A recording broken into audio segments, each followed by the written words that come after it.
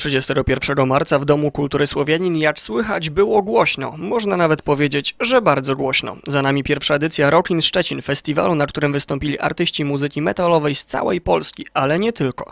Festiwal podzielony był na dwie części, konkursową i występy gości. W konkursowej wzięło udział pięć młodych zespołów. Jeżeli chodzi o, o zespoły takie już powiedzmy w cudzysłowie gwiazdy, będzie szczeciński Rebel House, e, Trasher Deads e, z Chojnic, e, Wolf Spider, Poznań, Testphobie Creon, e, Wrocław i dwa niemieckie zespoły, m.in. Thunder and Lighting. Młode zespoły były mocno zmotywowane do rywalizacji. Nagrodą główną w konkursie był kontrakt płytowy oraz dystrybucja i promocja materiału. Nagrodę główną wygrał zespół Xante z Bydgoszczy. Kontrakt płytowy łączy się oczywiście z promocją zespołu, z koncertami i oczywiście z wydaniem płyty. Festiwal Rock in Szczecin to zupełnie nowa inicjatywa. Organizatorom chodziło o zgromadzenie na jednej scenie zarówno młodych, jak i doświadczonych wykonawców. Pierwsza edycja promowana była w całej Polsce i odniosła duży sukces. Spodziewalibyśmy się i chcielibyśmy, żeby jak gdyby się to rozrastało i mamy taką nadzieję, że, że będzie to, to impreza, która no, z edycji na edycję będzie